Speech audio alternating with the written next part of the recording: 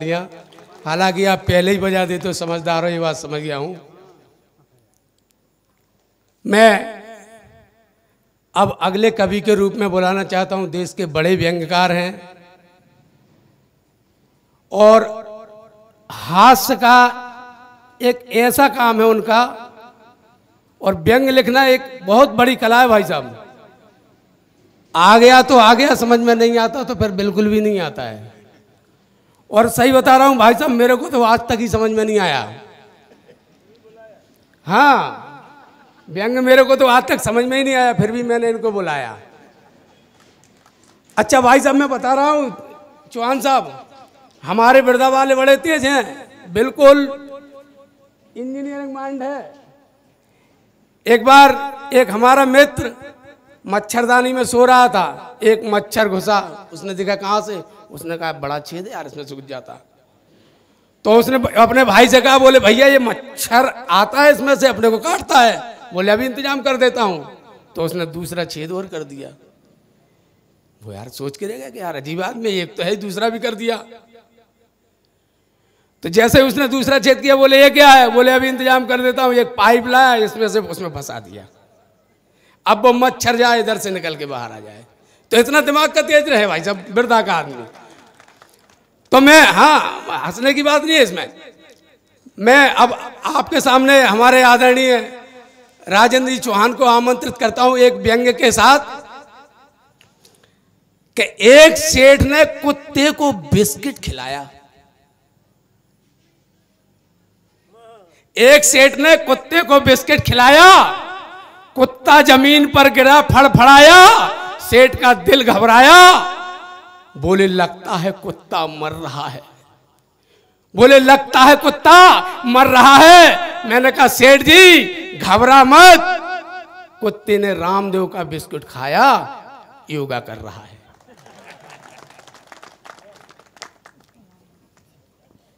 तो इस टाइप के व्यंग हो जाते हैं साहब।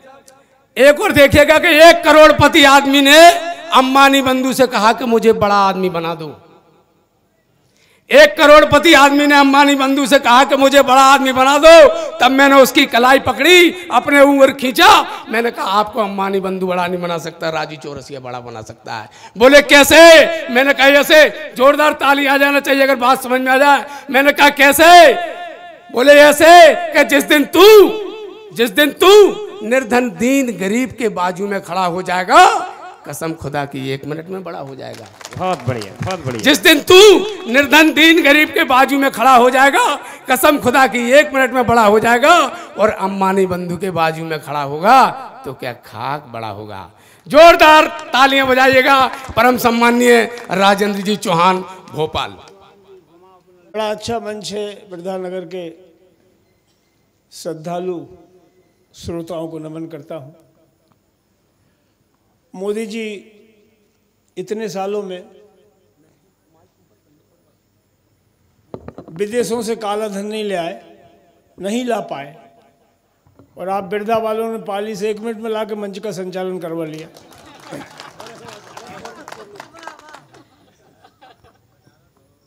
अभी कुत्ते की बात कर रहे थे। हमारे भोपाल में भाई साहब परसों तक कुत्ता पकड़ो अभियान चल रहा था। परसों तक चल रहा था और परसों ही इनका फ़ोन आया कि मैं आ रहा हूँ और अपन साथ आएँगे इंदौर से। तो भोपाल में कुत्ता पकड़ो अभियान चल रहा था साहब और भगवान की ऐसी कृपा हुई कि अपन नहीं पकड़ा है। समझ में नहीं आई? ये तो कह रहे थे कि के लोग बहुत होशियार। मैं ये कह रहा हूँ भाई साहब फिर से सुनो। भोपाल में कुत्ता पकड़ो अभियान चल रहा था। भगवान की कृपा देखी अपन नहीं पकड़ा है कल मुझे पता चला कि कुत्ता पकड़ो अभियान इंदौर में भी चल रहा है। तो मैंने इनको फ़ोन लगाया, मैं इनका पट्टा पकड़ा नहीं जाए मैंने इंदौर फ़ोन लगाया तो इनकी बेटी ने उठाया। मैं इनका बेटी पापा है। बोले, जी नहीं, अंकल। वो तो बाहर सड़क पर घूम रहे अरे, मैं का बेटा उन्हें जल्दी से बुला। बाहर नगर निगम वाले आवारा कुत्तों को ढूंढ रहे हैं। और मैंने फ़ोन रख दिया। थोड़ी देर बाद मेरे मन में फिर आई कि कहीं ऐसा नहीं हो, भाई पकड़ा गया हो। मैंने फिर फ़ोन लगाया। तो फिर इनकी बेटी ने उठाया। मैंने कहा बेटी, पापा आ गए। और क्या खाना खा रहे हैं? बोले, जी नहीं अंकल, मम्मी के हाथ में चप्पल है और वो सिर खुजा रहे हैं।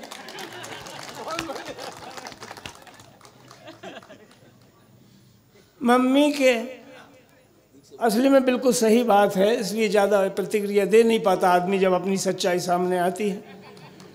हमारे देश की विडम्बना है, सच कोई सुनना नहीं चाहता, झूठ कोई बोलता नहीं है। हालाँकि एक बात और स्पष्ट कर दूँ साहब कि हम किसी राजनीतिक पार्टी के संवाहक लोग नहीं हैं। बिल्कुल क्लियर आपके मनोरंजन के लिए लोगों के नाम वाम ले लेते हैं। कोई मामला नहीं बनता हमारा कोई लेना देना किसी पार्टी से नहीं है। यहाँ विभिन्न पार्टी के लोग जो होते हैं वो चप्पल और जूते के रूप में वहाँ नीचे उतार के जाते हैं। यहाँ हम सब कवि और शायरा लोग हैं कवित्री लोग हैं। बाकी कोई मतलब नहीं रहता। तो मैंने फिर इनकी बेटी ने फ़ोन उठाया तो मैंने कहा, बेटे, पापा आ गए और क्या खाना खा रहे हैं? बोले, जी नहीं, अंकल, मम्मी के हाथ में चप्पल है और वो सिर खुजा रहे हैं। मैंने फट से फ़ोन रख दिया, मैंने कहा, मामला गंभीर है। मैंने फट से फ़ोन रख दिया, मैंने कहा, मामला गंभीर है, थोड़ा ठंडा होने दो। फिर अपन बात करते हैं कि मांजरा क्या है। पाँच दस मिनट के बाद भाई साहब, मैंने फिर फ़ोन लगाया। अब की बार इनकी श्रीमती ने उठाया। मैंने कहा, भाभी जी भाई साहब हैं? कि गए? मैंने कहा, भाभी जी, भाई साहब हैं कि गए? बोले, भैया, वो तो गए। लेकिन जाते जाते मेरा दिल दुखा गए। जाते जाते मेरा दिल दुखा गए। सफ़ेद कुत्ते के लिए घी लगी रोटी रखी थी, खुद ही खा गए। सफ़ेद कुत्ते के लिए घी लगी रोटी रखी थी, खुद ही खा गए। और ये तो मैंने कहा भाभी इसमें दिल दुखाने की क्या बात है? सफ़ेद कुत्ते की रोटी काला कुत्ता खा गया ये कई बात? वाह वाह जोरदार तो साहब मैं इसीलिए राजू भाई से कह रहा था कि मुझे मत छेड़ो। ये लोग क्या है? राजू भाई मुझे इतना कमज़ोर कभी समझते हैं साहब कि मुझसे ओपनिंग करवा रहे हैं। मैं दस नंबर का खिलाड़ी लेकिन करवा रहे हैं तो कोई बात नहीं हम तो इनकी फिर भी तारीफ़ ही कर रहे हैं। हम तो कहते हैं कि राजू भाई जैसी सोच वाला आदमी राजू भाई जैसी हिम्मत वाला आदमी राजू भाई जैसा निर्णय लेने की क्षमता रखने वाला आदमी कोई है ही नहीं। ये वो आदमी है साहब के लंगड़े घोड़े पे दाव लगा के रेस जीत लेता है और काबली घोड़े वाले चने चबाते रह जाते हैं। आपने देख लिया ना? मुझे आना चाहिए था मैं, मैं जलाल मेकस से सीनियर आदमी हूँ साहब। ये जलाल भाई के कहने से ये आदमी ने मुझे पहले नंबर पे खड़ा किया, जलाल भाई को तो मैं भोपाल में निपट लूँगा, मगर इनको इंदौर में पकड़ना जरा मुश्किल होता है। तो मुझे यहाँ खड़ा कर दिया साहब। मैंने ज़रूर सोचा, मैंने कहा, यार, इस आदमी की सोच की सप्लाई ज़रूर मोदी प्लांट से आ रही है, क्योंकि मोदी जी के निर्णय भाई साहब ऐसे ही चौंकाते हैं। वो भूखे लोगों के लिए शौचालय बनवाते हैं। अब आदमी भाई साहब खाएगा ही नहीं तो जाएगा ही नहीं। और जब जाएगा ही नहीं तो शौचालय काम आएगा ही नहीं। शौचालय अब ऐसे करवाते हैं, छेड़ देते हैं, यार आदमी को, मैं कहता हूँ, मुझे मत छेड़ा करो, मैं बहुत सीधा सज्जन आदमी ओपनिंग करवा रहे हो।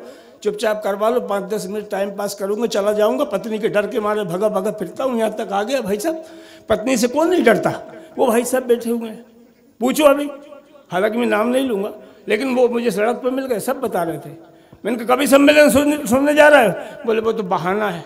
तो मैंने कहा, फिर? अरे, घर नहीं जाना है। ये हो जाता है हमारी हेमा जी बैठी हुई है। ये इतनी दबंग कवित्री है साहब, बहुत दबंग कवित्री। लेकिन बिरथा आने में डर रही? मैंने कारण पूछ लिया। मैंने कहा हेमा जी, क्या बात इसने मुझे कारण बताया तो मैंने इन्हें समझाया। मैंने कहा बिरधा नगर में डरने का कोई काम नहीं है। मैं दावे के साथ कह सकता हूँ, यहाँ एक भी आसाराम नहीं है। वाह वाह वाह अरे आना चाहिए भाईजान जोरदार। बजाओ तालियाँ जरा। ये, क्या बात है साहब?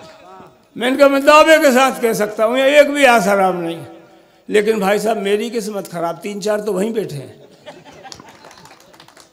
और दुर्भाग्य दे दिए, एक तो मंच ही संचालन कर रहा है। तो हेमा जी बोली, मंच संचालन वाले आसाराम की फ़िक्र आप मत कीजिए, इससे तो मैं निपट सकती हूँ।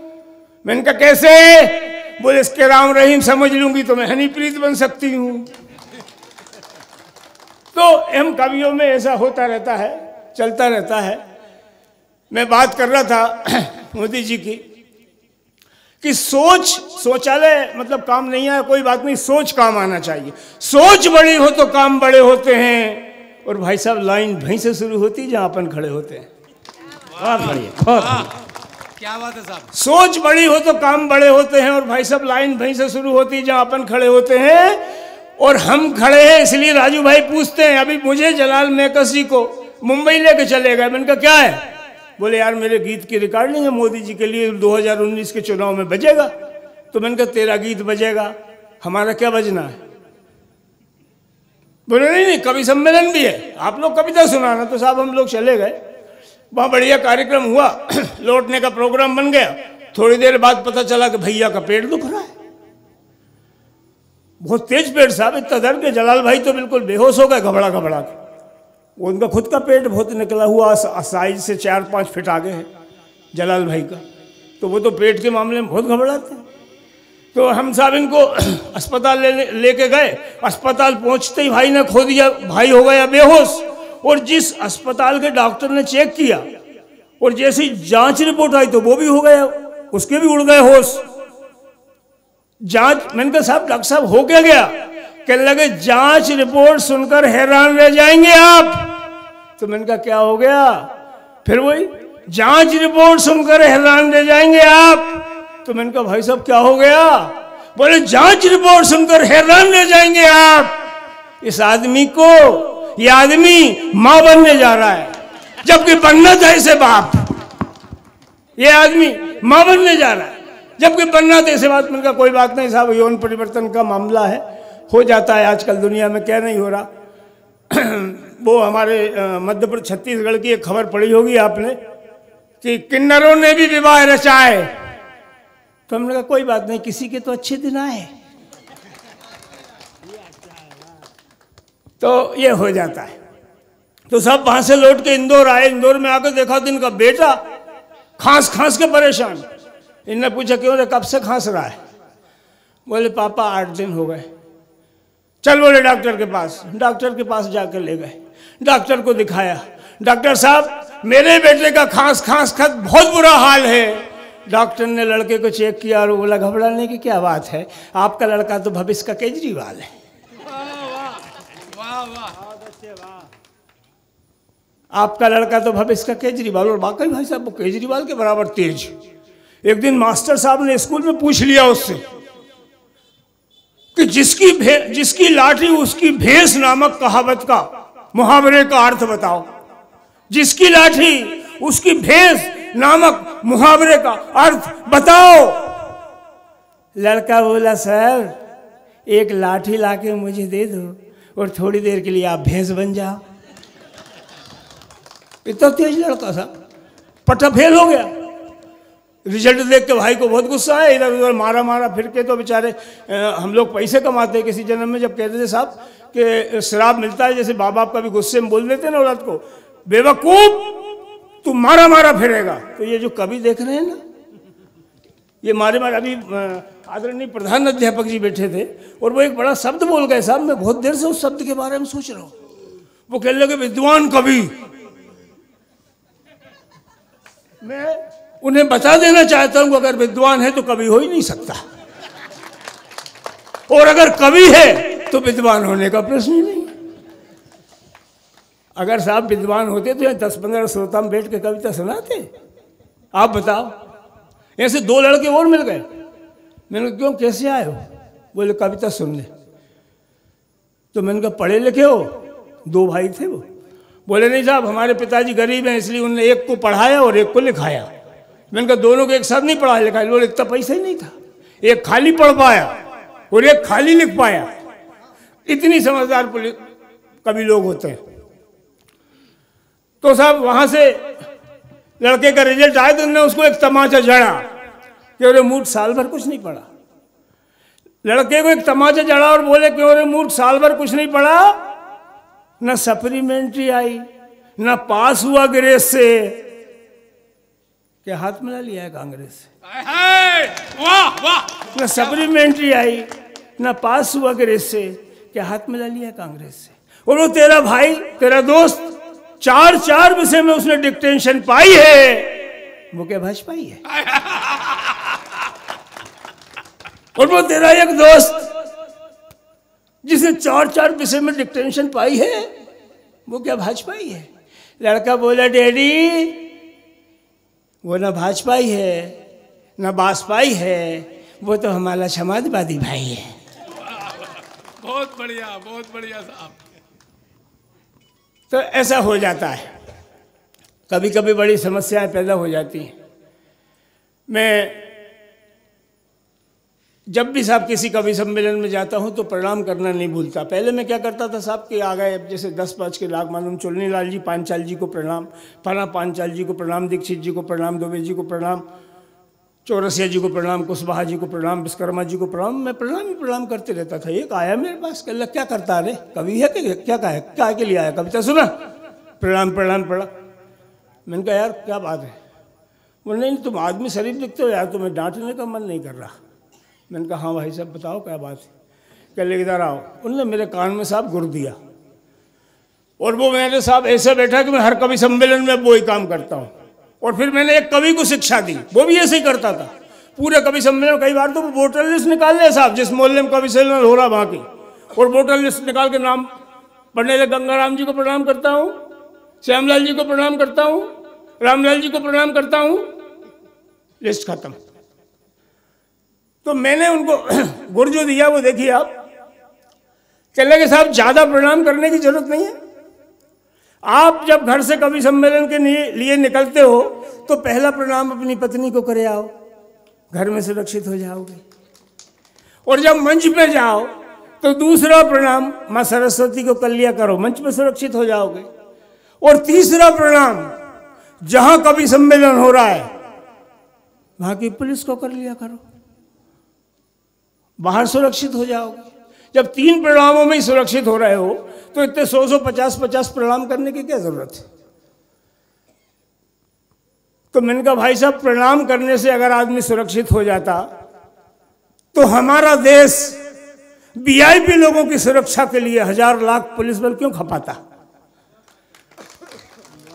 वो पैसा बचाता, वो पैसा बचाता और गरीब की योजनाओं में काम लगाता।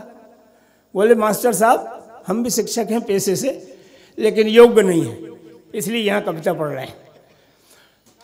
तो कह लगे, मास्टर साहब, आपको तो ज्ञान बांटने की आदत पड़ी है। आपको तो ज्ञान बांटने की आदत पड़ी, आपको पता ही नहीं है। मेरी खाट के पास पत्नी तीन दिन से डंडा लेके खड़ी है। मैंने कहा, बात क्या है? बोले, इस महीने तनख्वाह नहीं मिली।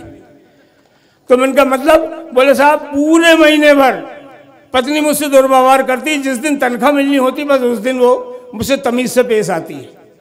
तो मैंने फिर क्या हुआ, बोले, आज तमीज से पेश आना था, लेकिन तनख्वाह नहीं मिली तो वही बदतमीजी हो गई, एक दिन भी सुकून से नहीं मिला। तो मैंने कहा, फिर तुम करके रहते ये गदरपंथी?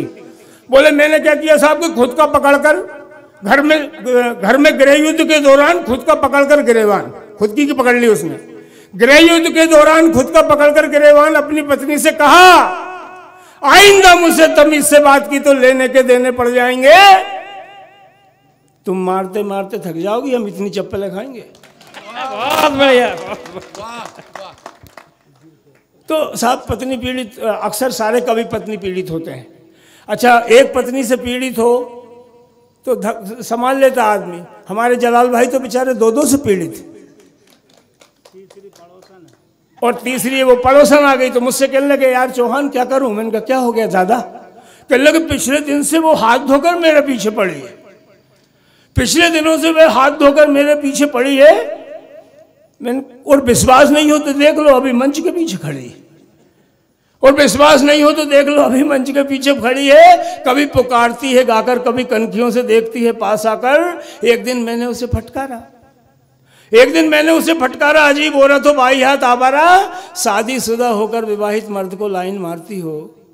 दो गृहस्थियों की तबाही का अंजाम जानती हो? शादीशुदा होकर, खुद शादीशुदा होकर एक विवाहित मर्द को लाइन मारती हो। दो गृहस्थियों की तबाही का अंजाम जानती हो। वह बोली, अंजाम से कौन डरता है? रे बाबा, तुमसे मिलने को दिल करता है। रे बाबा, तुमसे ये मज़े कर रहे हैं जलाल भाई, अकेले पड़े हुए हैं, मस्त। हम कलारी पे जाएँ या खोलें, नहीं खोलें, आपसे मतलब आप काले धन हो, हमें सफ़ेद नहीं करना। कि अल्लाह के मैं काला धन हूँ, कलारी खोलो सफ़ेद हो जाएगा। क्यों खोलूं भैया? अभी मुझे आप बीती सुना रहे थे कि अल्लाह के यार चौहान साहब, मेरे साथ घटना बड़ी अजीब होती है। राजू भाई की है बात। मेरे साथ घटना बड़ी हो जी अजीब होती है मैं कपड़े बाद में धोता हूँ। पहले पत्नी मुझे धोती है। चौहान साहब मेरे साथ घटना बड़ी अजीब होती है मैं कपड़े बाद में धोता हूँ पहले पत्नी मुझे धोती है। एक दिन पत्नी सुबह ही सुबह मुझे धो रही थी। एक दिन पत्नी सुबह ही सुबह मुझे धो रही थी और ये दृश्य देखकर मेरी विवाहित बेटी बड़ी खुश हो रही थी। और ये दृश्य देखकर मेरी विवाहित बेटी बड़ी खुश हो रही थी। वह बोली, मम्मी, मुझे भी अपनी ससुराल की बहुत आ रही है याद। मम्मी, मुझे भी अपनी ससुराल की बहुत आ रही है याद। एक महीने से बगैर धुले घूम रहे होंगे तुम्हारे दामाद। एक महीने से बगैर धुले घूम रहे होंगे तुम्हारे दामाद। माँ बाज़ार चलो और विदाई में दिला दे, मुझे कपड़े धोने की एक मोंगरी। आजकल झाड़ू से काम नहीं चलता, नेताओं की तरह मज़बूत है इनकी खोपड़ी।